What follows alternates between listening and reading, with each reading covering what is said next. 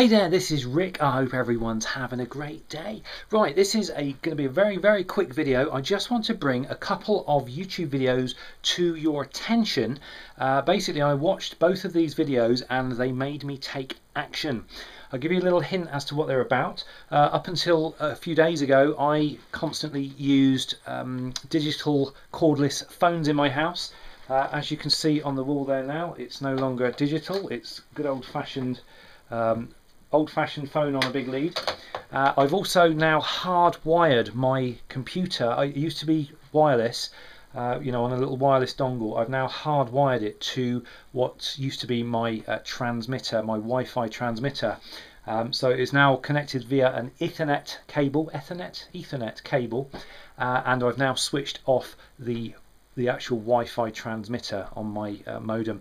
Now if you watch these videos below you will understand exactly why I have just done that.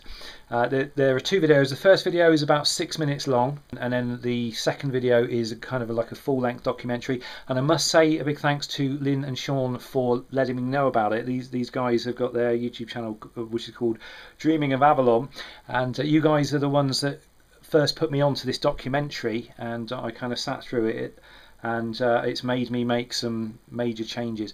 It's uh, it's incredible stuff. There's there's a lot of quite quite serious revelations going on in that documentary.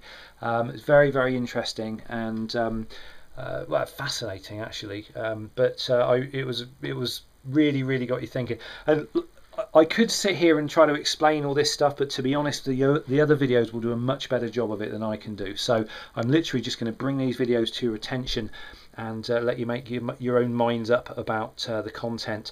Uh, I, am certainly not pushing any opinions about you know what I think people should and shouldn't do. I'm just just going to say if you get a chance, have a look at these videos and you know make up your own minds. Okay, that's it. That's all I wanted to say in this video.